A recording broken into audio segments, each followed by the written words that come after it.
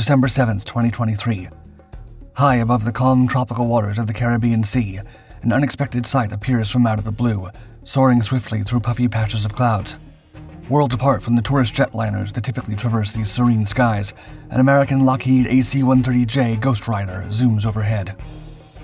The sophisticated fifth generation gunship carves its path through the sky, its four roaring Rolls Royce turboprop engines shattering the tranquility that surrounds them.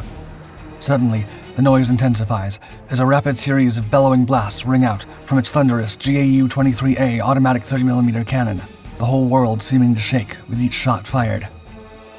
With footage of the incident from a full motion infrared video camera posted online, apparently filmed from an unknown aircraft flying alongside the Ghostrider, many were shocked to see such a fierce display of military might in this unlikely setting.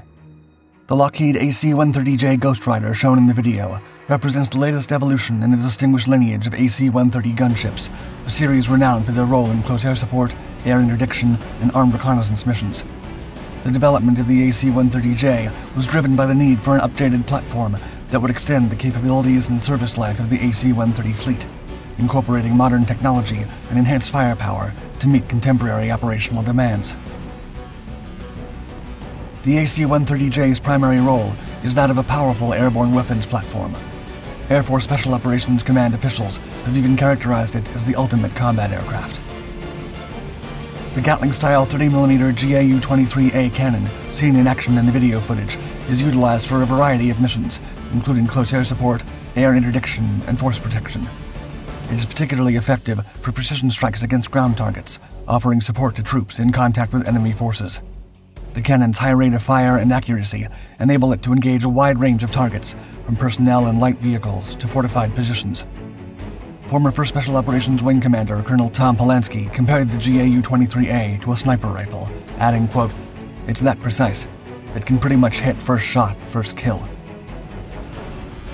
The Ghostrider is also equipped with a 105mm howitzer, used for delivering heavier, high-explosive munitions over a longer range, it's capable of engaging more fortified or larger targets, making it ideal for destroying enemy bunkers, strongpoints, and concentrations of forces, as well as providing suppression and support for ground operations in more intense combat scenarios. What's more, the gunship includes an external BRU-61A rack that allows it to carry GBU-39 small-diameter bombs, known for their ability to accurately hit targets from a considerable distance with minimal collateral damage as well as AGM-114 Hellfire missiles, which are versatile laser precision-guided munitions useful for engaging high-value targets that require a more substantial warhead. The Ghostrider is powered by four Rolls-Royce AE2100 D3 turboprop engines, each capable of delivering 4,700 horsepower. This power plant not only propels the aircraft to speeds of up to 362 knots, or 416 miles per hour, but also ensures reliability and efficiency during extended missions.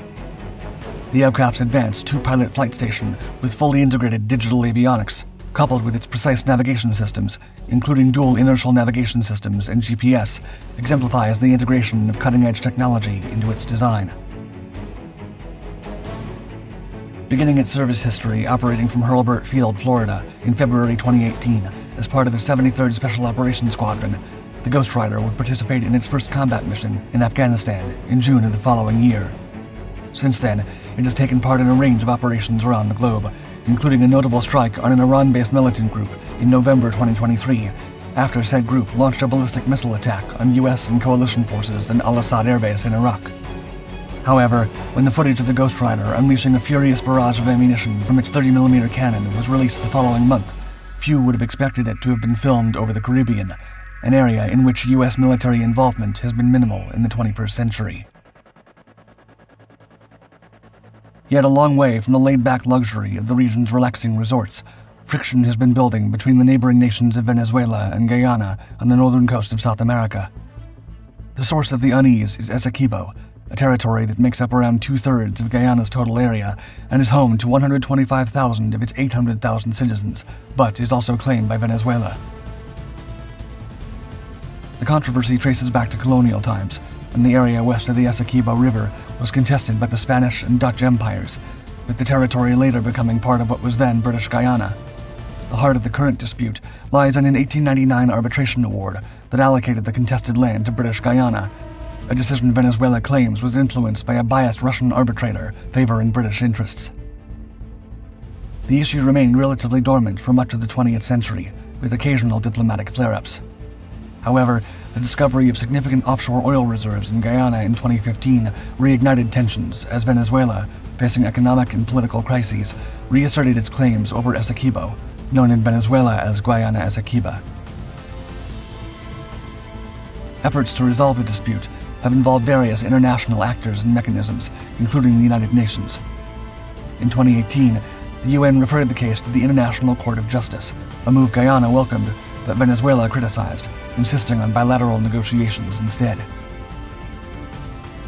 On December 3, 2023, the Venezuelan government held a consultative referendum seeking to validate its assertion over Essequibo and its rejection of the International Court of Justice.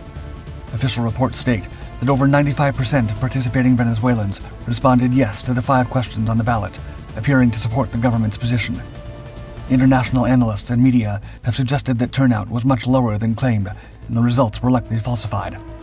Nevertheless, the Venezuelan leadership used the purported outcome of the referendum to justify an intensification of its attempts to annex the disputed region. The day after the poll, National Bolivarian Armed Forces of Venezuela Strategic Commander Domingo Hernandez Larez posted a series of images and videos on his social media accounts of Venezuelan troops repairing or constructing new roads, bridges, airstrips, and other infrastructure along the border with Essequibo, with his accompanying texts suggesting that they were planning to expand into the region.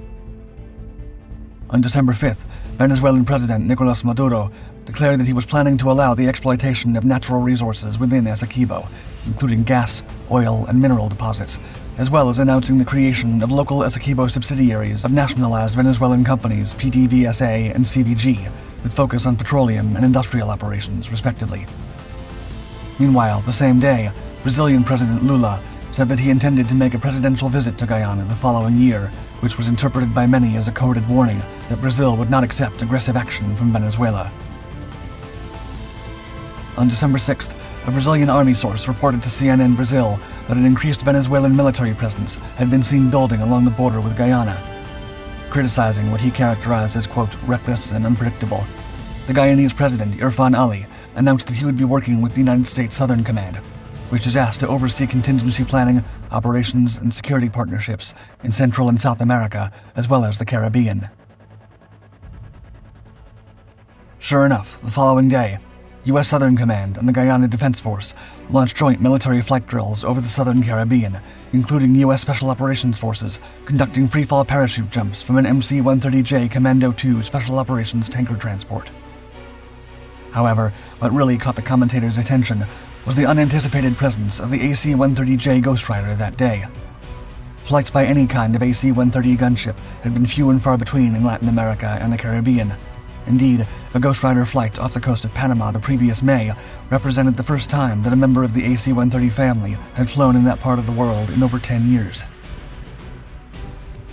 Sharing the video of the Ghostrider pumping out shells from its 30mm cannon on social media platform X, Southern Command said that the purpose of the exercise was, quote, to stay sharp and agile in support of the joint force and partner nations. However, Southern Command spokespeople denied that the AC-130J had anything to do with the training activities involving Guyana's armed forces that day. Whatever the reason for the Ghostrider's surprise appearance, it's interesting to consider this show of U.S. Special Operations aviation capabilities in the context of current events in the region.